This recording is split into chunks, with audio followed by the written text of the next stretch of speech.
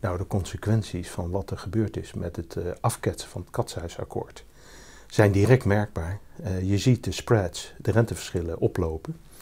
Het is op dit moment al 70 basispunten, maar dat kan nog verder gaan. Afhankelijk natuurlijk van de uitkomsten van het beraad van het kabinet en de oppositie.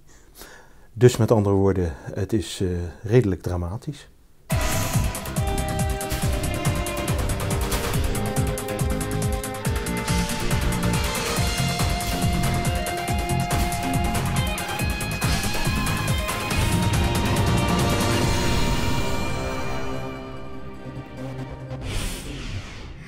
Als het katshuisberaad op een zeker moment tot belangrijke structurele hervormingen had geleid, wat het niet heeft trouwens, eh, dan waren de rating agencies en ook de financiële markten gerustgesteld.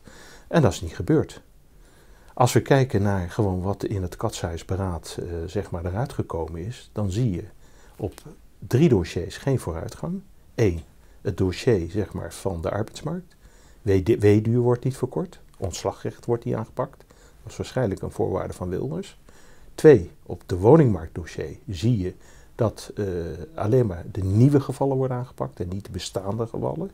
Dus dat, is ook, ja, dat levert ook niet veel op. En het derde dossier, het zorgdossier, heeft men dus eigen bijdrage van 9 euro per recept. Maar waar de echte kosten natuurlijk ook zitten, zijn natuurlijk in de specialisten en de ziekenhuizen. En je moet daar remmers hebben, zoals de Belgen dat noemen. Dat zijn dus eigen bijdragen die op een zeker met de vraag, die in principe onbeperkt is naar zorg, beperkt.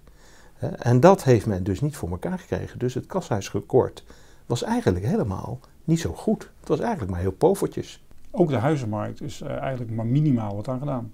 Zeker, zeker. En uh, dus eigenlijk als je gewoon naar de belangrijke dossiers zijn, kijkt van structurele vormingen, dan kun je eigenlijk maar zeggen dat op zijn hoogst een derde, zeg maar, wat nodig was, in het akkoord stond. Dus in die zin was het ook niet echt uh, om naar huis te schreeuwen. Uh, volgens Michael Six, uh, chief economist van Standard Poor's, zou Europa eind 2012 uit een milde recessie, zoals zij het omschrijven, moeten zijn gekomen. Dat gaat Nederland in ieder geval zeker niet redden. Nou, Nederland heeft natuurlijk altijd zit op de bagagedrager van Duitsland. En Duitsland gaat erg goed. Dus dat is een, zeg maar, op zich geen probleem.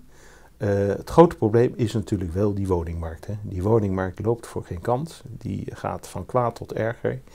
En die onzekerheid uh, voor de starters, voor de nieuwe kopers, blijft nog steeds bestaan. En dat is zeer kwalijk. En het tweede punt waar ik erg veel zorgen over heb, is de werk van de arbeidsmarkt. Juist in een recessie.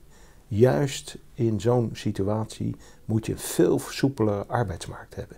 Dus dat ontslagrecht en die WW-duurverkorting waren noodzakelijk, in combinatie natuurlijk met goede omscholingstrajecten. En dat is niet afgesproken, helaas.